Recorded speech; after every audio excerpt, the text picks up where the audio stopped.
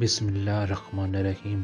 آج کی ویڈیو بہت ہی دلچسپ ہونے والی ہے کیونکہ آج کی ویڈیو میں آپ جانیں گے پنجاب حکومت نے سموک آلودگی کے پیش نظر پنجاب میں الیکٹرک رکشہ کی رجسٹریشن شروع کر دی ہے اور پہلا لائسنس سازگار کمپنی کو دے دیا ہے، جس سے سازگار کے الیکٹرک رکشے اب رجسٹرڈ ہو سکیں گے، جو کہ ایک شوشائن قدم ہے۔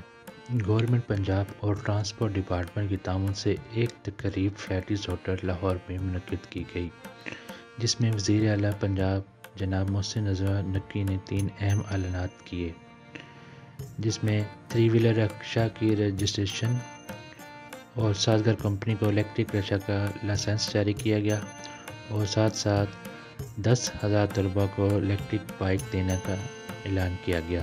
پنجاب بھر سے الیکٹرک تھری ویلر اور ٹو ویلر بنانے والی کمپنیوں نے بھی شرکت کی، جس میں پاک الیکٹرون سیوا، Jaguar United Qingqi Metro Toyota اور ای ای نیو ایشیا وغیرہ نے بھی شرکت کی۔ تو آئیے ناظرین، ہم دیکھتے ہیں کہ کون کون سے اسٹار پہ کون کون سی گاڑیاں اویلیبل ہیں اور کس طرح کی گاڑیاں ہیں۔ تو آئیے چلتے ہیں۔